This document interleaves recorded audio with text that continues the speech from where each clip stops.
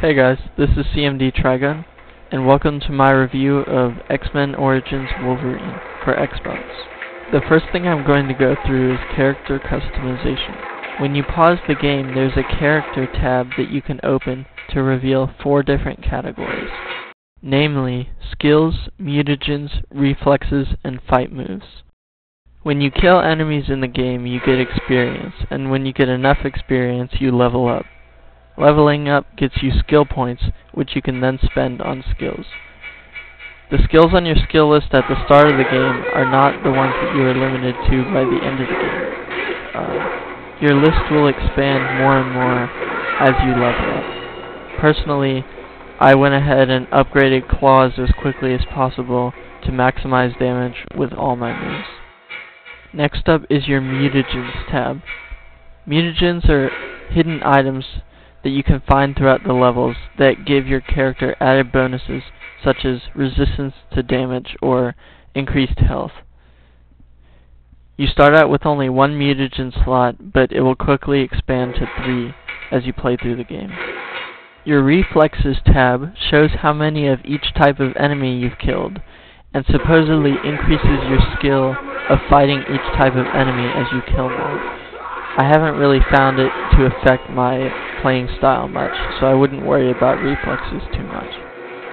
Lastly is your Fight Moves tab. This is just a list of all the moves that you've acquired throughout the game, and it's good to go refer to if you're stuck on a difficult boss. Now that I got the boring stuff out of the way, I'm going to talk about feral senses, secret collectibles, and combat. Using feral senses is a very key part of the game. The first thing it helps you with is figuring out where to go. If you press up on the D-pad, your feral senses will activate, and things lit up in green uh, will guide you to where you need to go next. Another way it helps is in combat. If you see objects that are lit up in green, that means that these objects can be used to efficiently kill your enemy. Here I grab an enemy and throw him against the wall, skewering him. Feral senses can also help you detect enemies that have cloaked themselves from vision. Lastly, feral senses help you detect traps, lighting them up in red.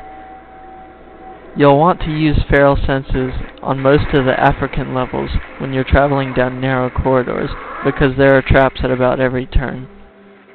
There are several key collectibles aside from mutagens that are worth a lot more than achievement points in the game. One of the collectibles you can find hidden on the levels are action figures. There are different action figures for different Wolverine costumes, and when you find action figures, you unlock a bonus tab on the main menu, where you can fight another Wolverine wearing the costume you want to unlock, and if you defeat him, you unlock that costume. You can play with any unlocked costume at any time during the campaign. Another good collectible to look for are dog tags. Dog tags can be found on fallen enemies that are lit up in yellow. When you collect a dog tag, you receive 500 experience points initially, but as you collect more and more, you get more experience, helping you level quicker.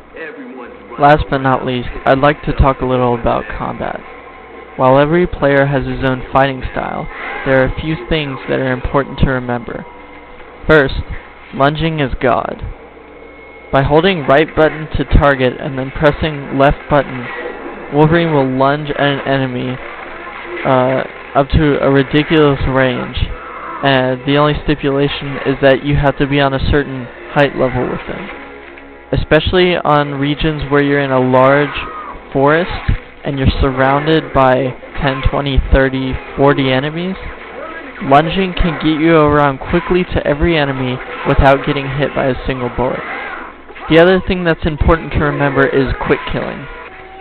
If you grab an enemy by pressing B, and then wait a second, you can press Y to perform a quick kill. When you press Y, Wolverine will bring his claws back, and then when you see the glint on his claw, you hit Y again, performing a quick kill. Some enemies take more than one quick kill before they die, but uh, most of the standard troops die in one quick kill, so be sure to keep this in mind and use it often. Here I just wanted to show you guys what the first mini boss looks like, just so you can see some action in the game. This golem is rather easy to take down as long as you avoid his heavy hits and lunge at the right time. Let me just add at the end here that the game is M, so it's very gory. I was quite surprised, but uh, it looks very beautiful when you when you're playing the game. Uh, all the environments look great, and the combat sequences are great. Uh, all the violence really adds to it, and uh, it's a really cinematic feel. So you'll really get to see all the graphics at work uh, in and out of combat. So definitely, if you're skeptical, rent the game because I know games are really expensive now. But I hope this has persuaded some of you to go out and get the game because I bought it and uh, I really enjoy it. I hope this helped anyone who's playing the game right now. Um, I didn't want to give away too much because I didn't want there to be any uh, real spoilers, but if you're having trouble on any boss, uh, since I've already beaten the game, I'd be glad to help you.